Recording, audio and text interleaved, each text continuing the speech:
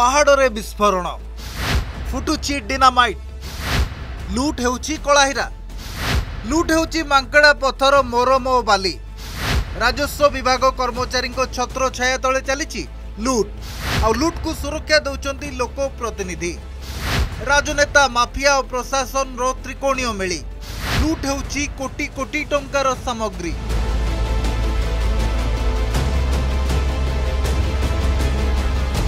ଦୃଶ୍ୟ ହେଉଛି ବାଲେଶ୍ୱର ଜିଲ୍ଲା ଖଇରା ତହସିଲ ଅଧୀନ ସାରିସୁଆ ପାହାଡ଼। ଆଉ ଦେଖନ୍ତୁ ଏଠି କେମିତି ମାଫିଆମାନେ ଲୁଟି ଚାଲିଛନ୍ତି ଲଘୁ ଖଣିଜ ସାମଗ୍ରୀ।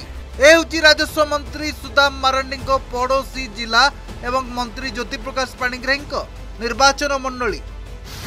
ଆଉ ଏଠି ବିନା ଟେଣ୍ଡରରେ ମାଫିଆମାନେ ଚଳାଇଛନ୍ତି ତାଙ୍କର ସାମ୍ରାଜ୍ୟ। ଜେସିବି ହାଇୱା ଲଗାଇ ପ୍ରତିଦିନ ଲୁଟ୍ ହେଉଛି ଶହ ଶହ ଟ୍ରକ୍ ସାମଗ୍ରୀ।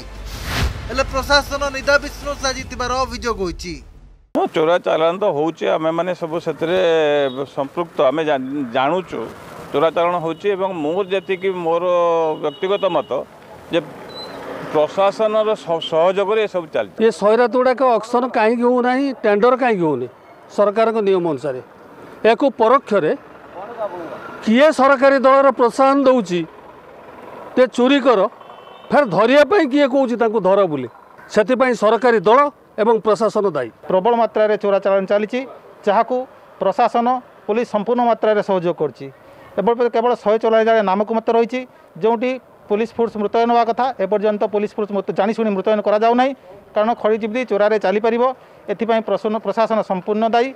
କୁପାରୀ ସାରିସୁଆ ପାହାଡ଼ରୁ ମେଣ୍ଟାଲ ସମେତ ଗଡ଼ ପୋଖରୀ ବାଉଁଶ ଗଡ଼ିଆ ଏବଂ ହରିପୁର ପଞ୍ଚାୟତ ଅଧୀନ ବିଭିନ୍ନ ମୌଜାରେ ଥିବା ମୂଲ୍ୟବାନ ସରକାରୀ ଜମିକୁ ଖଣି ମାଫିଆମାନେ ଖନନ କରି ମାଙ୍କଡ଼ା ପଥର ଏବଂ ମୋରମ ଚୋରା ଚାଲାଣ କରୁଛନ୍ତି।